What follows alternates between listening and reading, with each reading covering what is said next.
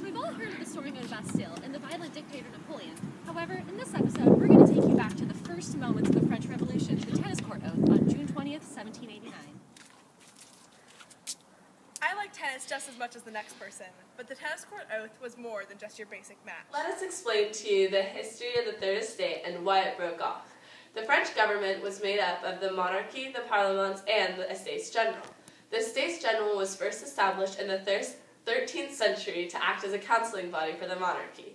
The Estates General was a tricameral system that was meant to represent all the people of France. The first estate was the clergyman, which made up 1% of the overall population. The second estate was the nobility, which made up 2% of the population. And the third estate was the communes, or everyone else, which made up 97% of the population.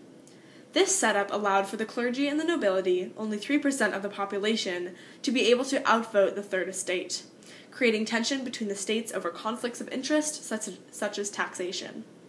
But in 1614, the entire Estates General was dismissed by Henry XIV to expand his absolute power, and were not invited to return until 1788.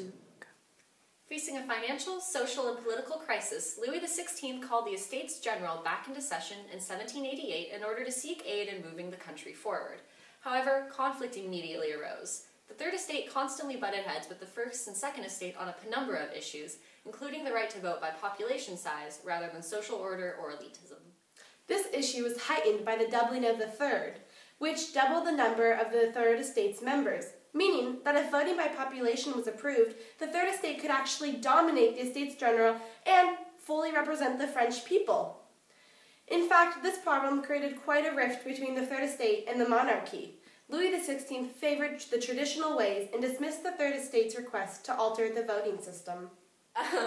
On June 17th, the Third Estate declared itself the National Assembly and invited the other estates to join them. Few did. Then, on June 20th, the Third Estates arrive at their usual meeting place to discover that they had been locked out. While no one truly knows why and who locked them out, speculations could be made that it was punishment for their speaking out. This is where the tennis court comes into play. Mm -hmm. Oh mon dieu, we're locked out! I know, we'll meet at the nearby tennis court as the Third Estate. And officially establish ourselves as the new National Assembly under the new oath. Huzzah! Oh Huzzah! This is the oath taken by the National Assembly that day on the tennis court.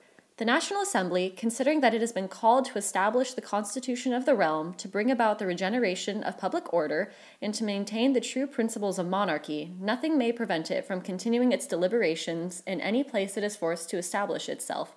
And, finally, the National Assembly exists wherever its members are gathered decrees that all members of this assembly immediately take a solemn oath to never separate and to reassemble whenever circumstances require until the constitution of the realm is established and fixed upon solid foundations, and that said oath having been sworn, all members and each one individually confirm this unwavering resolution with his signature. This oath, which claimed that they would stop at nothing to create a new constitution, was the first moment of the French Revolution. While they did not have plans to completely obliterate the monarchy, they did wish to lessen the power of the monarchy and the nobility. The outcome of the tennis court oath fulfilled the visions and wishes of Abbé Sieyès that he expressed in his essay, What is the Third Estate? My name is Abbé Sieyès, and you may ask, What is the Third Estate? It is the whole. It is everything.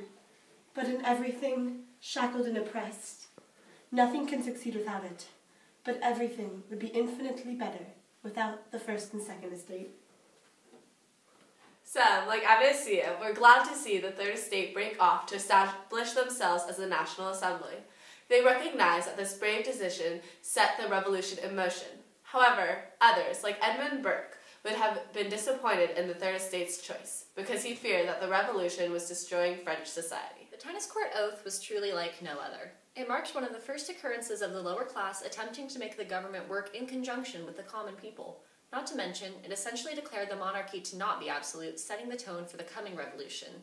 Their creation, the National Assembly, emerged as the first government of the French Revolution. And the revolution begins!